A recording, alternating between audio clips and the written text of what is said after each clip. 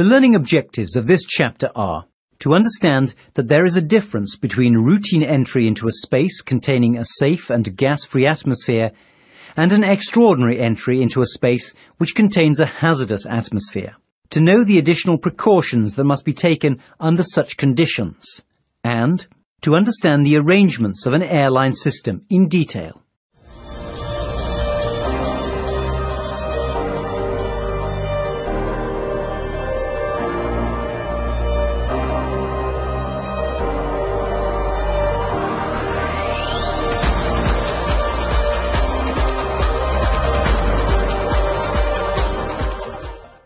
Entry into an unsafe or suspect atmosphere should not be considered an ordinary or standard event.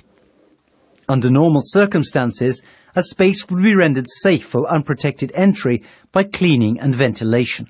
There are situations, however, when such conditions cannot be created or guaranteed, and entry is still required. If the atmosphere is considered to be suspect or unsafe to enter, then the space should only be entered if it is essential for testing purposes, that is, testing cannot be properly or adequately carried out from a remote location, for the safety of life or of the ship, or for the work of the ship under controlled conditions. Under such conditions, breathing apparatus should always be worn.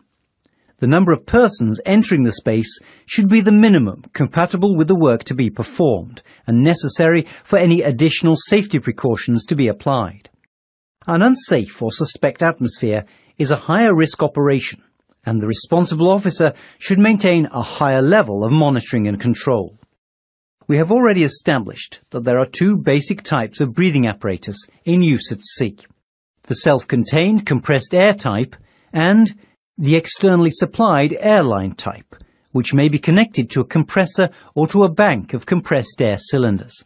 There are particular procedures and precautions associated with each type. Click on the labels for more information.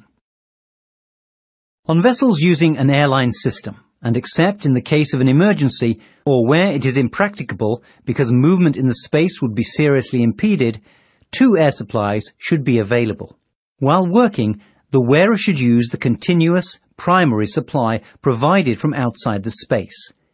In the event of an emergency, the backup supply should be engaged without delay. The emergency supply is meant for evacuation only, and not the continuance of work, and it will provide air for a limited period only. If the emergency supply is engaged, therefore, the user should immediately cease working and exit from the space. Note that in some cases, the user may not realize that the supply has been changed, and the watchman should therefore signal to him to exit. In determining the capacity suitable for emergency escape, due allowance is made for the possibility of increased demand under stress or in difficult conditions, but it must be understood that it is a limited supply. Precautions should be taken against any disruption to the air supply while the individual is inside the enclosed space. Special attention should be given to supplies originating from the engine room, that is the main air supply, as opposed to a dedicated and separate supply. This should be properly filtered and continuously monitored for toxic or hazardous constituents. Self-contained breathing apparatus depends on cylinders containing a finite supply of air. When the safe minimum amount of air to allow escape from the space is reached, the audible alarm sounds.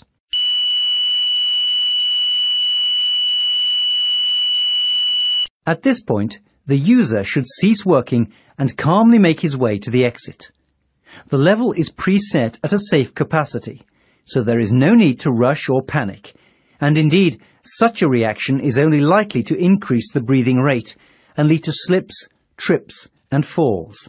On hearing the audible alarm, the standby watchman should look for the user moving towards the exit and assist him once he emerges.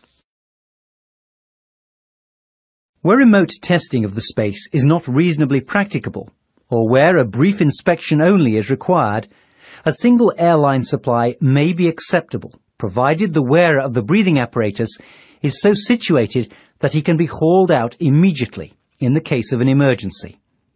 However, for preference and if available, a self-contained breathing apparatus should be worn in such circumstances. In addition to rescue harnesses, wherever practicable, lifelines should be used. Lifelines should be attended by a person stationed at the entrance, who has been trained in how to pull an unconscious person from a dangerous enclosed or confined space. If hoisting equipment would be required for any such rescue, arrangements should be made to ensure that personnel would be available to operate it as soon as necessary. Where appropriate, portable lights and other similar equipment should be of a type approved for use in a flammable atmosphere. Should there be any hazard due to chemicals, whether in liquid, gaseous or vapor form, coming into contact with the skin and or eyes, then protective clothing must be worn. The gas carrier, Happy Falcon, of 3,366 gross registered tons, arrived alongside in Zeebrugge, Belgium, early on the 10th of January 2003 and commenced preparations for inerting and gas-freeing operations. The nitrogen was being supplied by a shoreside contractor. The ship was to load a full cargo of propylene in her two tanks. Number one tank had previously been loaded with raffinate 1 and required inerting with nitrogen to below the lower explosive limit, and then gas freeing. The tank was then to be inspected and, if accepted by the surveyor, purged again with nitrogen prior to loading. Number 2 tank had previously contained propylene and did not require inspection or purging. At 0145 hours, prior to inerting number 1 tank, readings of the atmosphere in the tank were taken, and gas concentrations of 5.7% at the top, 5.2% in the middle, and 3.7% at the bottom were observed. Hoses were connected at 0205 hours and the tank was depressurized to shore. This was completed at 0335 hours and nitrogen was started into the tank at 0340 hours. Nitrogen was being supplied into the top of the tank, with the gas vapor being expelled out through the liquid line in the bottom of the tank and to a flare on shore. Readings were taken at intervals, showing a progressive drop in the gas concentration. At 0830 hours, nitrogen was stopped and the tank dome lid was opened in preparation for inserting the shore ventilation hose. The chief officer, third officer, and an AB were attending to this task.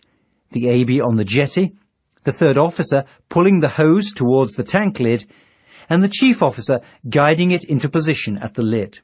The third officer was facing out towards the ship's side rail as he was working, and was not aware of the activity actually taking place at the tank lid. He heard a noise and turned around, but could not see the chief officer. He moved towards the dome and looked down into the tank, where he saw the chief officer lying on the middle platform of the ladder, halfway down into the tank. The third officer ran into the accommodation, raised the alarm, shouted to the personnel present in the mess room, telephoned the bridge, and made a broadcast on the PA system before returning to the deck. It was 0851 hours. The AB returned on board and prepared to enter the tank with a safety line. The shore supervisor also climbed on board and warned the AB not to enter without breathing apparatus. Personnel and equipment were arriving on site, however, and the AB donned a self-contained breathing apparatus and entered the tank. The shore supervisor raised the alarm on shore and called the emergency services. At approximately 0855 hours, the chief officer, supported by the AB from underneath, was lifted using the safety line and manhandled out onto deck. The second officer commenced administering oxygen, and it was noted that the chief officer was still breathing. At this time, however, a noise was heard from inside the tank, and it was found that the AB had himself fallen and was lying on the same middle platform that the chief officer had been rescued from. An OS and the messman now donned breathing apparatus and entered the tank with a safety line. The AB was retrieved to deck at 0900 hours, but found not to be breathing or to have a pulse. Efforts continued to revive him until an ambulance arrived and took both the chief officer and AB to hospital. The AB was declared dead some hours later when the life support machine to which he had been connected on arrival was finally switched off. The chief officer partially recovered and was repatriated to the Philippines. It has never been conclusively established whether the chief officer actually climbed into the tank to position the ventilation hose, fell into the tank from deck, or slipped and fell from a position at or near the top of the tank. Given the limited size of the access hatch and the injuries he sustained, the third possibility is considered more likely. The rapid and efficient action of the third officer and the AB undoubtedly saved the life of the chief officer.